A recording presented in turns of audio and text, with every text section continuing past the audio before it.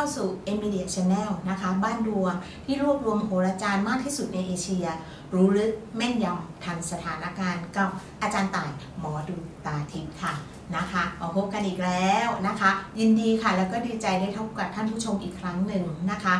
วันนี้อาจารย์ก็จะมาพูดถึงราศีใดจะเฮงเฮงปังปังในงวดวันที่1ธันวาคม จารย์ตายหมอดูตาทิพย์นะคะ ก่อนอื่นอาจารย์ก็คงต้องขอแนะนำตัวก่อนนะคะ อาจารย์ตายเป็นอาจารย์สอนอยู่ที่ชมรมอาสมเจษดาปิ่นเก้านะคะ สอนด้วยวิชาเออแล้วก็สมาคมโหราศาสตร์นานาชาติสาขาบางขุนนนท์สอนวิชายิปซีถอดรหัส เป็นวิชาที่เอา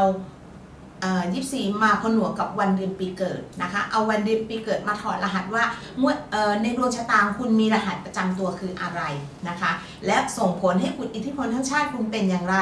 และในดวงวิชาของคุณในวิชาของคุณเนี่ยในยิปซีเนี่ย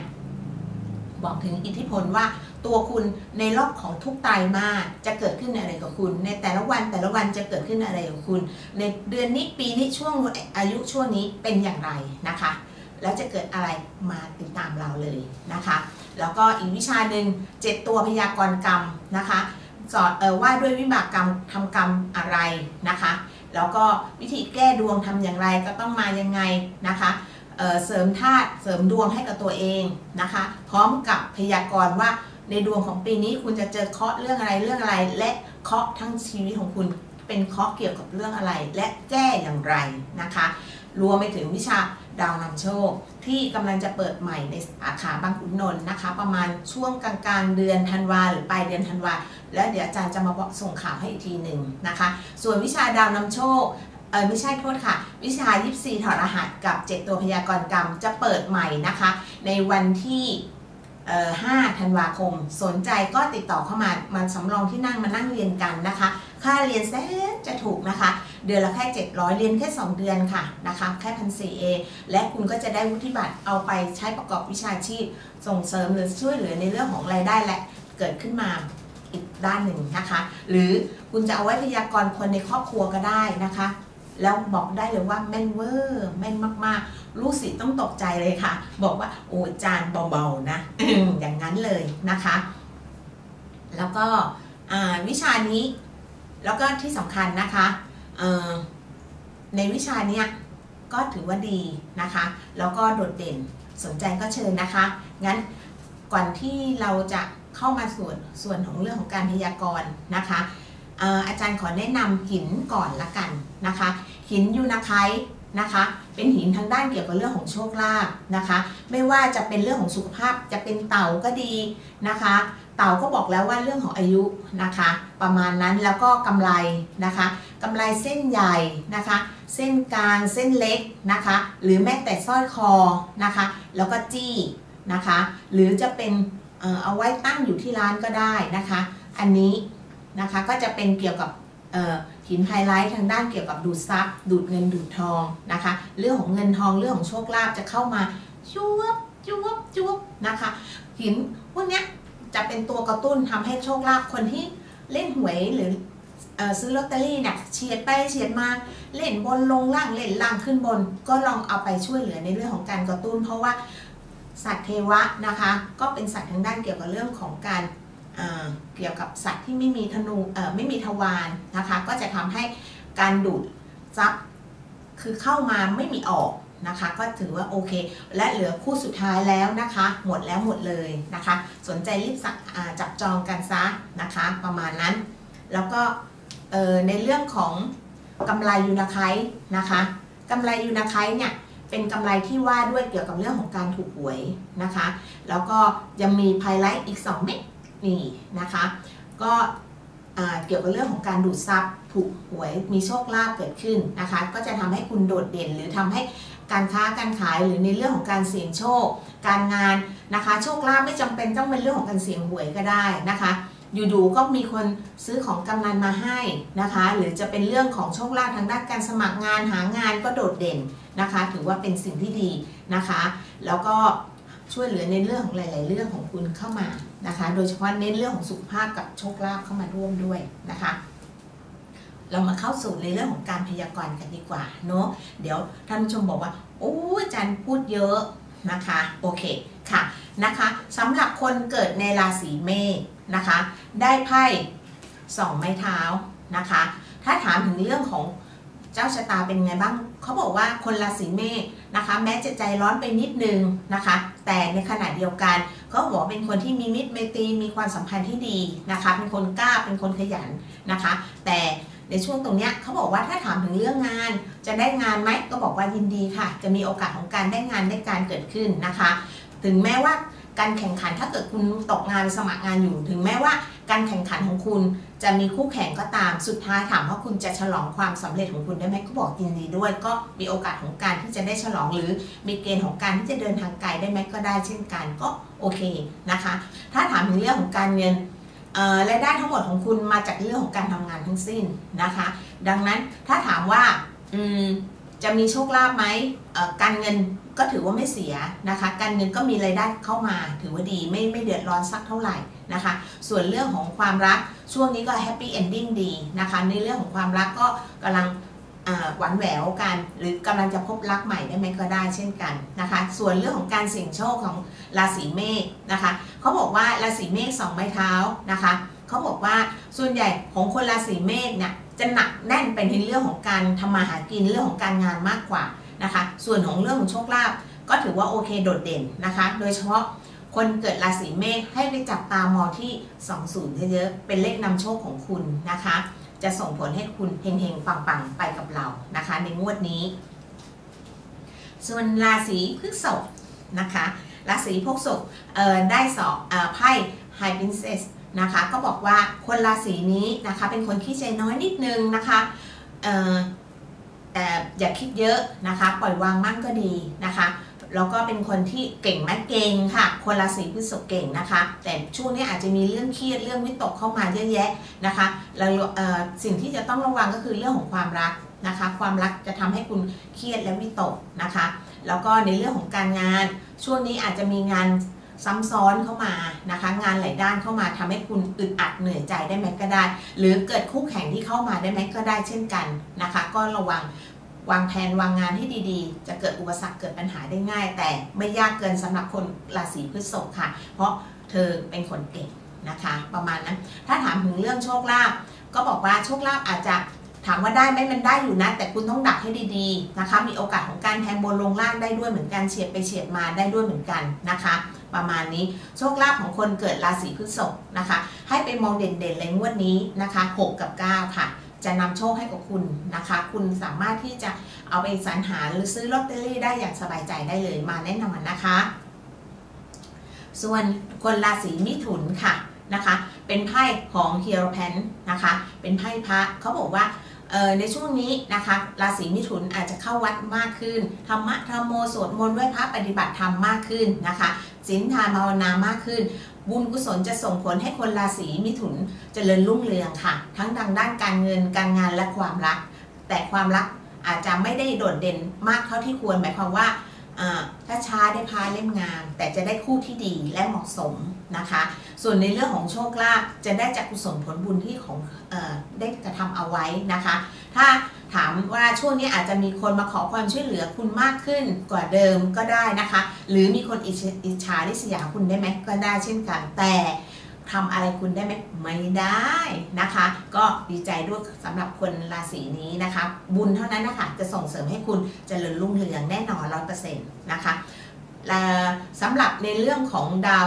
นำโชคของคุณนะคะ คนราศีพฤษภเออราศีมิถุนนะคะ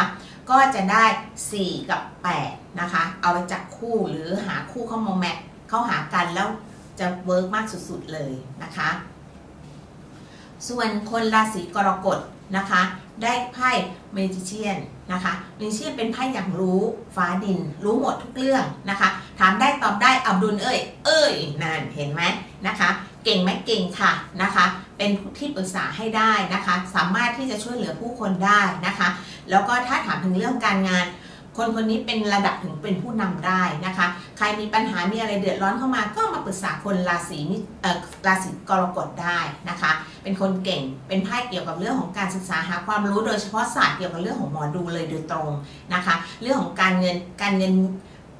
ถือว่าโดดเด่นนะคะในราศีกรกฎการเงินจะเข้ามาได้มากมายนะคะ การงานเป็นยังไงบ้างก็ถือว่าดี แต่ระวังเรื่องของคู่แข่งนิดเดียวเท่านั้นเอง แต่ทำอะไรคุณได้ไหมไม่ได้ค่ะ นะคะ ก็ราศีกรกฎก็สู้ๆนะคะ รับรองคุณผ่านแน่นอนและคุณจะเป็นคนที่โดดเด่นในสังคมด้วยนะคะ ถ้าถามว่าในตำแหน่งของโชคลาภล่ะ จะเป็นยังไงบ้าง คนราศีกรกฎให้ไปมองที่เลข 2 กับเลข 8 ค่ะ เป็นเลขนำโชคสำหรับตัวคุณ เอาไปคิดพิจารณาเยอะๆนะคะ ถ้าคิดแล้วพิจารณาไม่ได้ปรึกษาอาจารย์ต่ายค่ะนะคะ อยากจะรู้ดวงของตัวเองยังไงก็โทรเข้ามานะคะ ที่หมายเลข 0887550254 นะคะ ส่วนคนในราศีสิงค์ค่ะนะคะ ได้ไพ่หนึ่งไม้เท้านะคะสำหรับคนราศีสิงห์นะคะ ถ้าถามถึงเรื่องการงานโดดเด่นค่ะ ถ้าถามว่าไปสมัครงานจะได้ไหมบอกได้เลยคำเดียวค่ะเฮงปังเลยนะคะ คุณกำลังจะมีงานหรือมีคนได้นำงานมาให้หรือคนติดต่องานเข้ามาหาหาคุณ ช่วงนี้ก็ถือว่างานวิ่งดีนะคะ ในเรื่องของความรักก็บอกว่าจะมีรักใหม่เกิดขึ้นสำหรับคนที่ยังโสดอยู่นะคะ แล้วก็ถ้าถามถึงโชคลาภก็ถือว่าโดดเด่นนะคะ จะมีโชคมีลาภเข้ามา การงานแต่ว่าไพ่ราศีสิงห์จะเด่นในเรื่องการงาน มากกว่านะคะ แต่ถามว่าจะมีโชคไหมก็บอกว่ามีค่ะ มากไหมพอประมาณไม่ได้มากมาย แต่ก็ถือว่าดีนะคะ โดยเฉพาะเลขที่นำโชคให้กับคนราศีสิงห์นะคะ ให้เป็นมองที่เลข 1 กับเลข 9 ค่ะนะคะ จะนำโชคให้กับคุณนะเจ๋งเป้งนะคะ แล้วดีไม่ดียังไงมาส่งข่าวบอกกันนักนะค่ะนะสำหรับคนในราศีกันค่ะนะคะ ราศีกันอยู่ในภพของอรินะคะ ก็บ่งบอกว่าช่วงนี้ การเงินอาจจะเป็นช่วงของการซ้ายกดขวาขวากดซ้ายระวังการเงินที่ดีๆนะคะ การเงินอาจจะไม่ได้คล่องตัวเท่าที่ควรนะคะ ในเรื่องของความรักก็อาจจะขัดแย้งกัน หรือมีซัมซิ่งลองกัน ให้ระวังความรักให้มากๆนะคะ โดยเฉพาะการเงินช่วงนี้หมุนเงินแย่มากเลย ก็ให้ระวังด้วยแล้วกันแผนงานที่ดีๆแผนเงินที่ดีๆนะคะ ชักนายถึงแล้วกันนะคะ ไม่งั้นจะเดือดร้อนนะคะ เรื่องของความใจร้อนก็ยังใจร้อนอยู่มีเรื่องเครียดเรื่องวิตกกังวล ก็ยังไม่ค่อยดีเท่าที่ควรสำหรับคนราศีกันนะคะ แล้วก็ถ้าถามถึงงานช่วงนี้ก็อุปสรรคเยอะนะคะ ถ้าถามดาวนำโชคสำหรับคนราศีกันล่ะนะให้ ไปมองที่เลข 4 กับเลข5นะคะ จะให้โชคกับคุณอย่างโดดเด่นเฮงๆ ปังๆ ไปกับเราเลยค่ะนะคะเผื่อจะไปไว้แก้ไขปัญหาเรื่องของหนี้สินขึ้นมาได้นะจ๊ะส่วนคนราศีตุลค่ะนะคะ ได้ไพ่หนึ่งดาบเอ๊ไปไพ่ชุดนี้ดีดีจังเลยนะคะเขาก็บอกว่าคนราศีตุลนะคะ จะมีเรื่องของอถ้าถามถึงเรื่องการงานนะคะ จะมีงานเข้ามาให้คุณได้ เยอะนะคะ จะมีงานเข้ามา จะมีเรื่องของความรักก็จะเกิดรักใหม่เกิดขึ้น การเงินก็ช่วงนี้ก็ถือว่าดี งานมาเงินก็มานะคะ เป็นเรื่องปกติเลยนะคะ แต่เรื่องของความรักระวังเรื่องความใจร้อนละกันนะคะ เอาเหตุเอาผลคุยกันนิดนึงนะคะ แล้วก็ไปอยู่ในไพ่ของภพของปัตตานิด้วยถ้าเกิดว่าคุณยังโสดอยู่นะคะ เขาบอกว่าจะได้พบรักใหม่อย่างแน่นอน จะมีความรักที่โดดเด่นเข้ามา ก็ถือว่าดีใจด้วยนะคะ ไพ่นี้ถือว่าดีค่ะนะคะ ถ้าถามถึงโชคลาภล่ะ ดาวนำโชคสำหรับคุณที่เกิดราศีตุลเลขอะไรดี เขาบอกว่า 5 กับ 3 จะนำโชคให้กับคุณค่ะ จับตามองดูปิ้งปิ้งให้มากๆเลยนะคะ ถือว่าโดดเด่นนะคะ ส่วนสำหรับคนราศีพฤศจิกนะคะ ซึ่งดาวเสาร์เพิ่งย้ายออกไปนะคะ ก็อ่อดาวเสาร์ย้ายวันที่หนึ่งนะคะโทษโทษทีค่ะนะคะ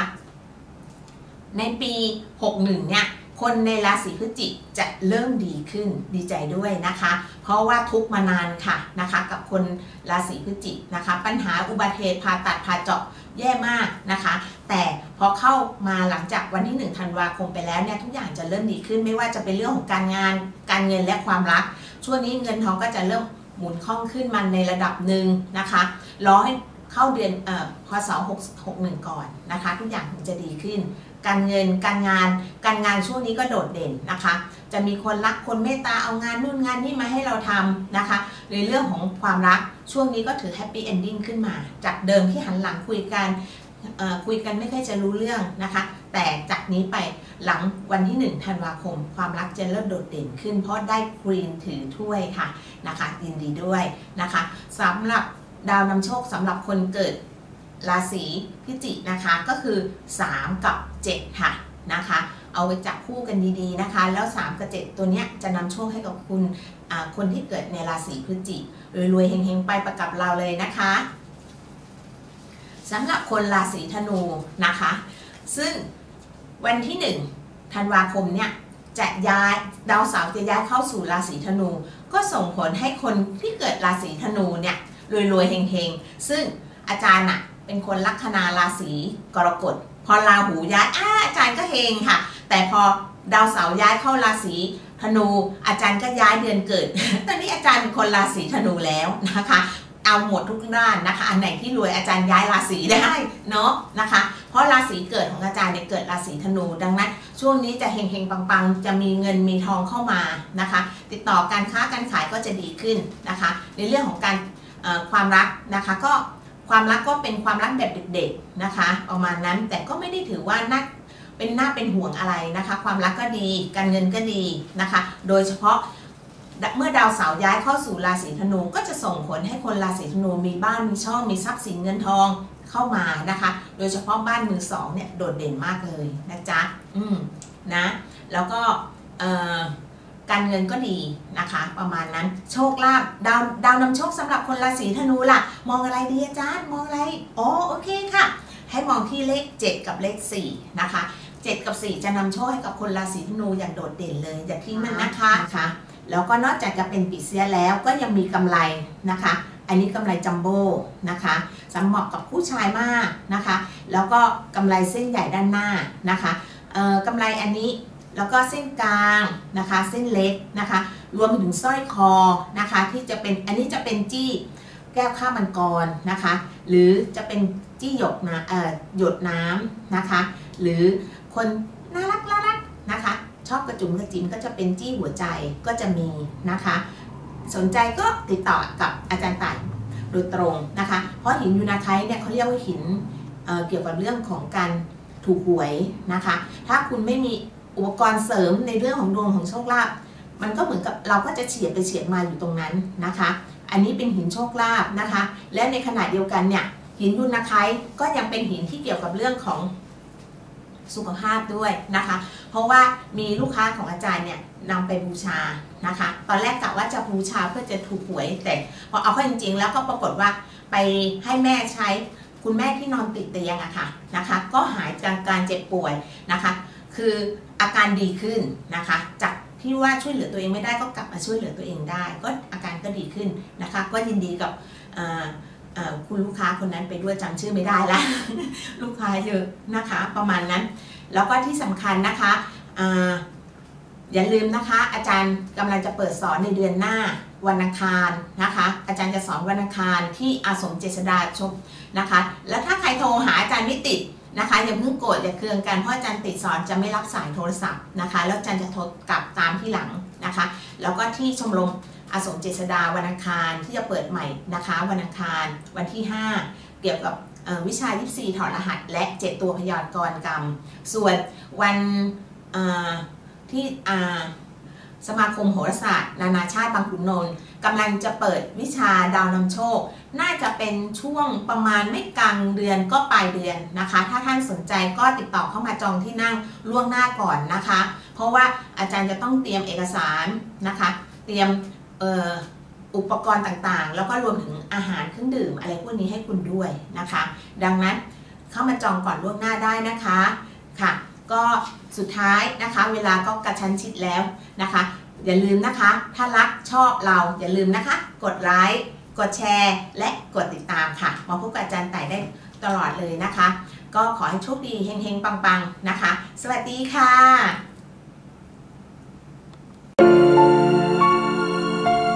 ยังคงคาใจ แม้เราเจอกันไม่นาน แต่มันเหมือนมีความผูกพันลึกซึ้งข้างใน ที่ไม่เจอ ข้างในมันเหมือนขาดหาย แต่พอพบเจอกลับอุ่นใจ เพราะเหตุใด ทั้งหมดที่รู้สึก บอกตรงนี้ว่าไม่เคยเกิดขึ้นกับใคร